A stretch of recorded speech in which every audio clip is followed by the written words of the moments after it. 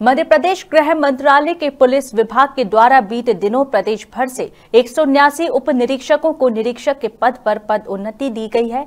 इसी के तहत पन्ना ज़िले से भी दो उप निरीक्षकों को पदोन्नति मिली है, जिसमें से पवई थाने में पदस्थ थाना प्रभारी सुधीर कुमार बेगी को उप निरीक्षक पद से निरीक्षक के लिए पदोन्नत किया गया है।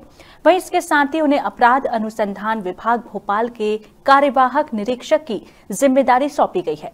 बता दें कि गुरुवार को पुलिस अधीक्षक पन्ना साई कृष्ण एस थोटा और अतिरिक्त पुलिस अधीक्षक आरती सिंह के द्वारा एसपी कार्यालय में स्टार सेरेमनी में उनकी वर्दी पर तीसरा स्टार लगाकर उन्हें पदोन्नति की शुभकामनाएँ दी। पवई से संवाददाता अनूप शुक्ला की रिपोर्ट।